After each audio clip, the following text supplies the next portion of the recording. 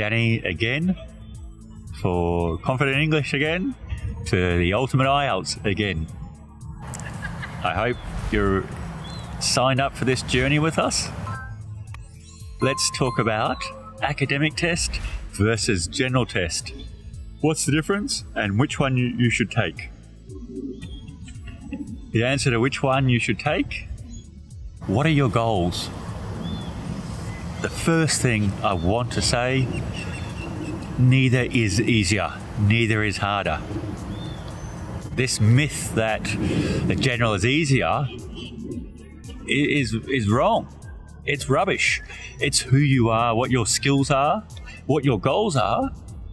But I know a lot of students of English and a lot of people out there, normal people in the street, that writing a scientific paper is much easier than writing a letter to friends in a, in a second language because there's much more forms.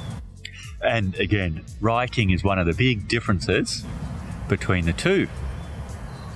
So, for both academic and general tests, the listening is the same. The reading is different. The writing is different. The speaking is the same. Which IELTS test to take, the academic or the general, depends on what is your goal. Why are you taking the test? Where do you want it to lead to?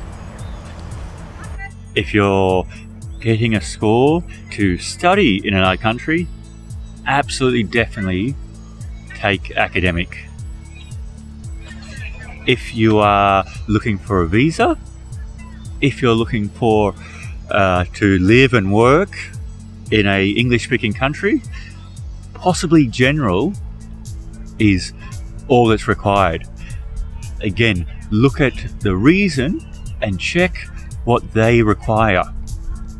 Now, if you don't have a set thing, such as a university saying you need X and Y, or an employer, a, a government agency saying you need IELTS of score of five or six or seven or eight, I would suggest study the academic because, again, there is no, neither is easier or harder.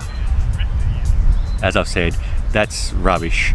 Both are as hard as each other, and it's both depends on how much study you do and how many questions that are comfortable for you on the test on that day.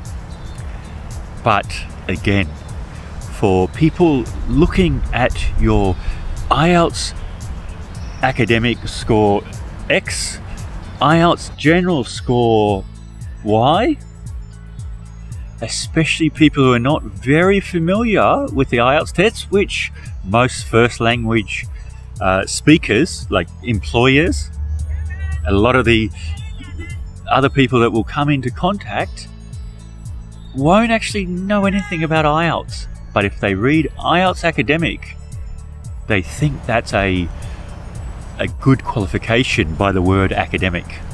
IELTS general, there's nothing wrong with that. Uh, and again, they probably don't know there's an academic. But the general just sounds general. It, seems like it's just it doesn't have that power that IELTS academic score X does. And again, I'd be almost if you have a general score, there's nothing wrong with that. But I'd almost just put IELTS. I wouldn't put IELTS general. If they ask, you tell them. I'd put down IELTS and your score on your resume or any application.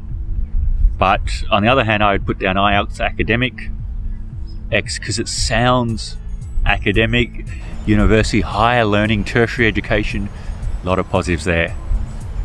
So, my natural instinct to recommend to people, depending on their personality and their style and, and their goals and what they're doing the IELTS for, what they're being told to take, I would say go for the academic